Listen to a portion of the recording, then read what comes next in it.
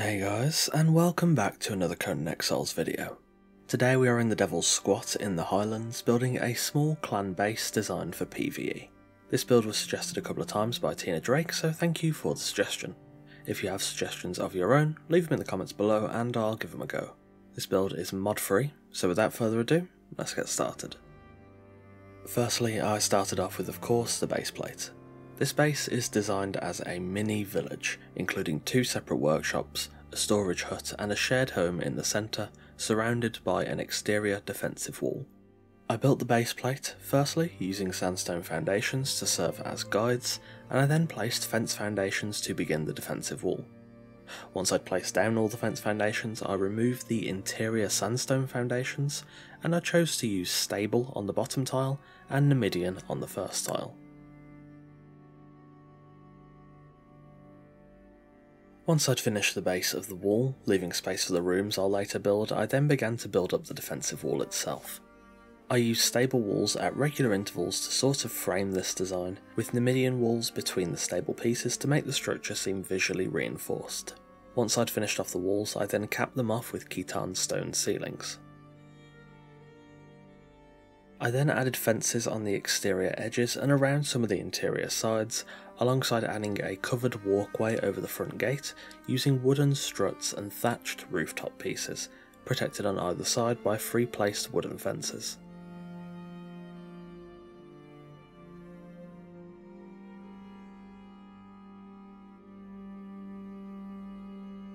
Next, after I added in the floors for the buildings I mentioned earlier, I began to build up the structures within. I firstly started with the first floors of each respective building, all of which used Numidian pieces. I built the walls two tiles high on all structures, aside from on either side of the storage hut, as this build will be a touch smaller than the others.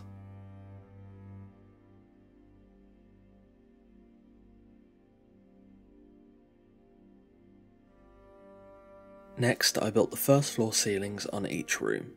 After I'd set up the stairs, I simply used Numidian ceilings to cap off the top of the walls, though I did have to use Numidian pillars in the central house to ensure the ceilings had enough support inside.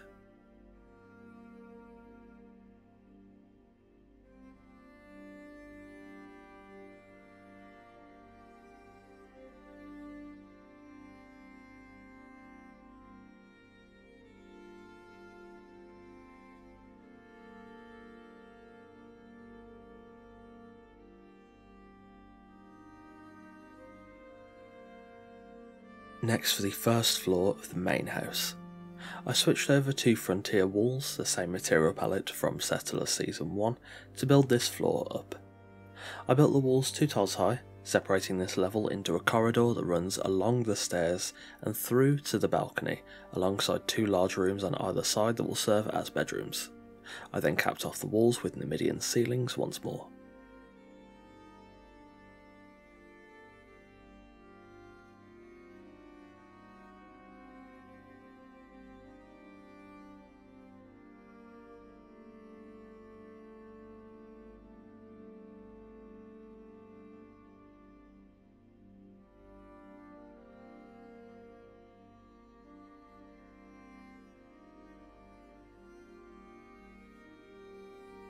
Next, I began on the roof gables for the main house's roof.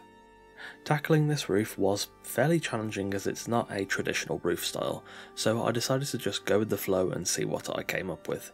I wish I could explain it better than that, but that is what I did. It worked, but uh, yeah, it's, it's kind of hard to explain. Next, I built the first floors of both workshops. Again, I used frontier pieces to build the walls two tiles high in a fairly simple design.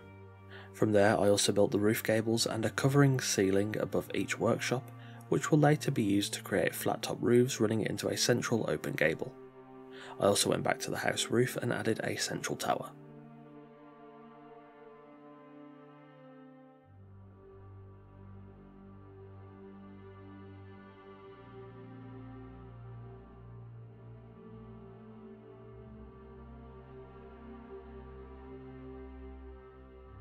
Next for the roofing.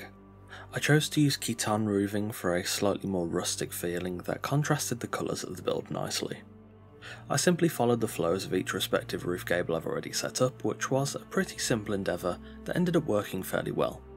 I think the forethought to set up the roof gables ahead of time works especially well for the central house's roof, which definitely simplified a process that otherwise would have been a true pain. I've built enough of these roofs to know how annoying it could have become. I added some ceilings to cover any gaps in the roof, coming to a peak at the tower.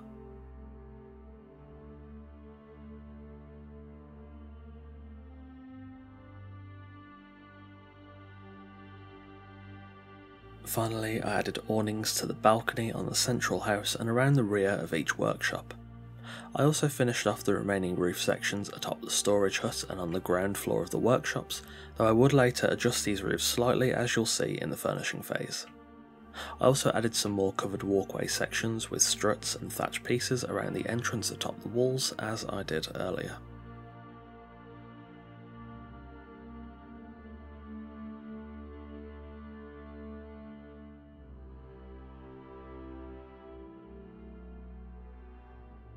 Finally, when the shell of the build was done, it was then time to, of course, furnish. Approaching the build, I've decorated fairly lightly with war banners, added some small buttresses to the workshop walls and statues outside, along with a small stable. Entering the base, I've added paths with walkways, a small wheel of pain, a well, and some beehives.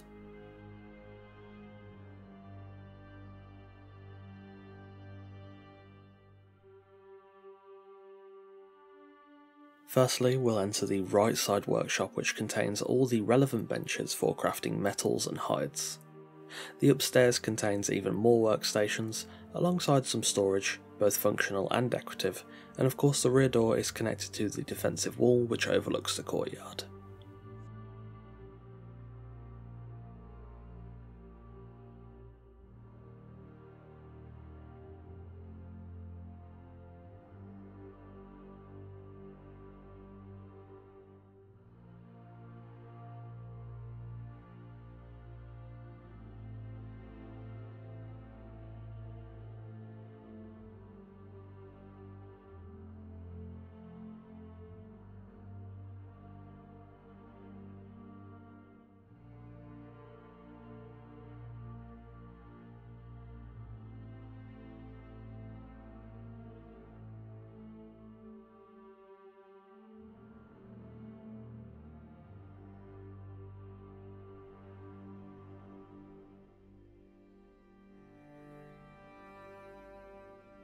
Next up, the storage shed is a fairly lightweight way to include quite a bit of storage. There are 18 chests here along with a preserving box.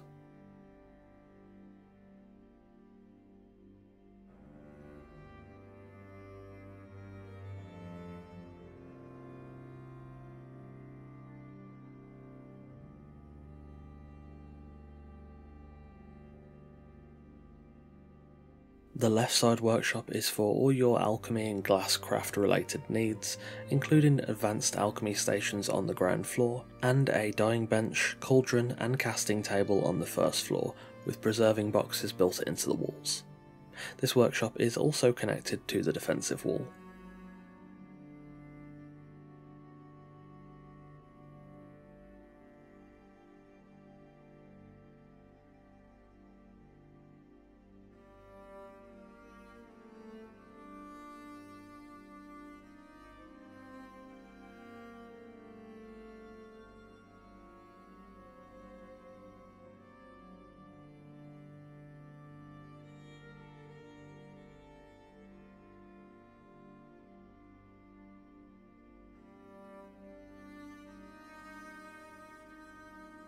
Finally, the central home.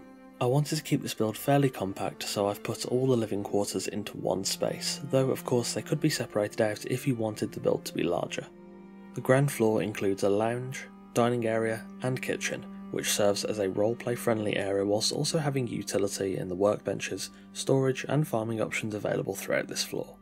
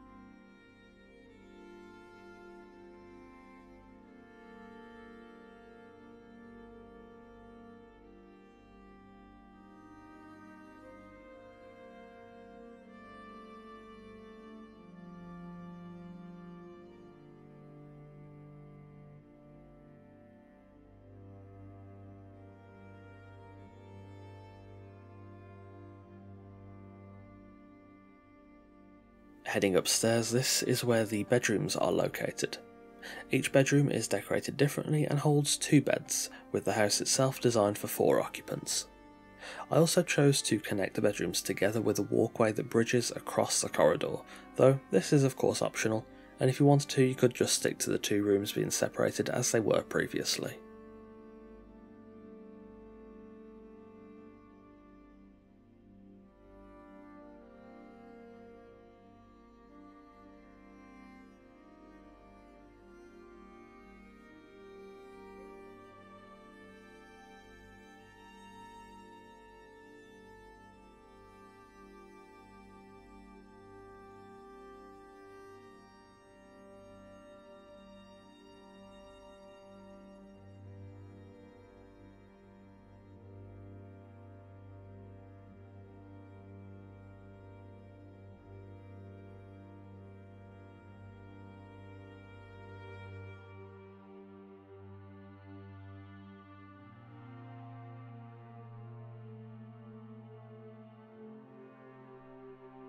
Finally, the balcony offers a couple of comfortable seating options and looks over the courtyard at the centre of the base.